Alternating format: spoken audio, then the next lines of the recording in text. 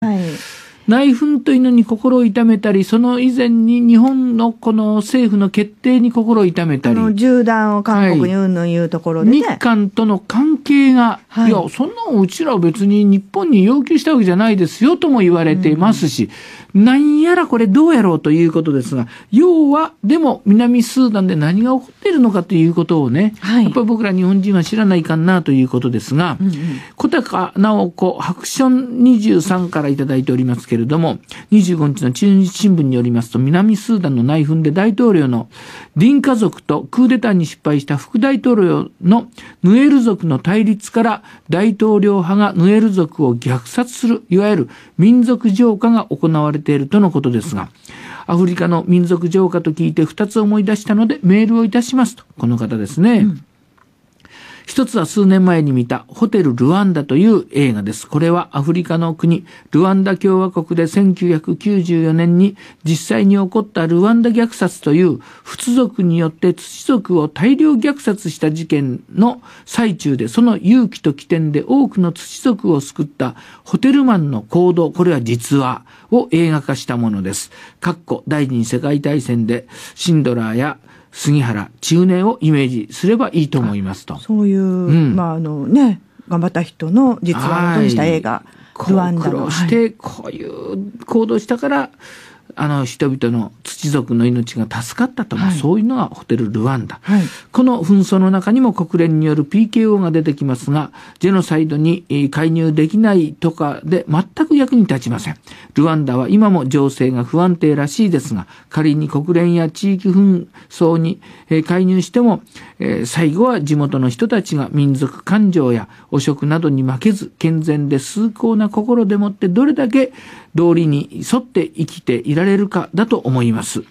もう一つはプロジェクトで、えーアフリカ、ナミビア共和国に、えー短期滞在した友人の話ですが、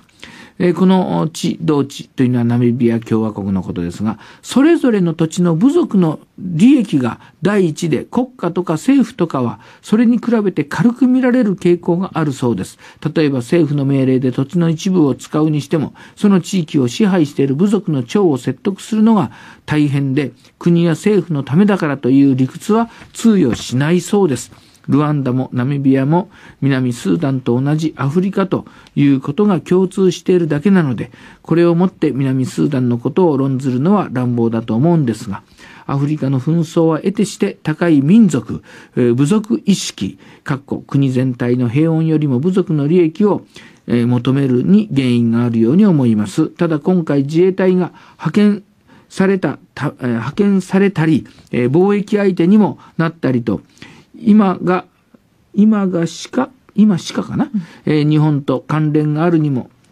今がしか日本と関連があるにもかかわらず、何せアフリカはあいかにも遠い存在なので、えー例えばこの日本は今年の7月1日に南スーダンに、えー大使館を開設したばかりですが、皆さんご存知でしたかということですが、あの、許可したということは私も知ってましたが、開設したまでは認識していないというのが私の中のまあだからちょっと恥じることですね。遠い国なんであんまこう関心意識が薄かったかなということでしょうかね。はいこれから暇を見つけて勉強していきたいなと思っておりますというようなお便りをいただきました。ここで、あの、本当に気になったのは、部族のことを中心に考えて、国のことを考えないという。日本もかつて混乱の、明治維新のなる前混乱がありました。はい薩長同盟を結ぶときに、西郷が何にも言わんからわしは何も言わんのじゃと言って、桂小五郎が言ってるとき、坂本龍馬は叱りつけました。ね長州にも長州の意地がある。長州がなんぼのもんじゃ日本のことを考えって、坂本龍馬は怒鳴りつけて、薩長同盟があったというのは、やっぱ同じ藩のことしかみんな考えなかった中に、日本のことを考えていた日本人は、坂本龍馬ただ一人であったというのも、ちょっと思い浮かべましたね。アフリカに坂本龍馬はいいないかな。るといいなと思いましたがね。思います。はいまあ、それにつけても、南スーダンの問題というのは、えー思わぬところでいろいろ、あ、そうかと認識することになりましたが、もっと僕らはね、世界の平和のこととかいろんなことを考えるときにね、ああいう国もあるんだというようなことは、もうちょっと覚えないといけません。やっと本当に大使館ができますよというような関係を結んだんで、やっぱり遠くの国であることは否めないと思いますけれども、はい、私もいろいろ調べてみましたら、本当にインフラの整備というのがね、うん、なされていないと、はい、ここにもナイル川が流れておりまして、私も正確に測ったわけじゃないですが、400キロこの国の中をナイル川が流れております。その中で、一箇所しか橋がないらしいです。うんこういうとこからしてもインフラがいかに整備されてないかということがわかるなと私も感じた次第でございました。私のお気に入り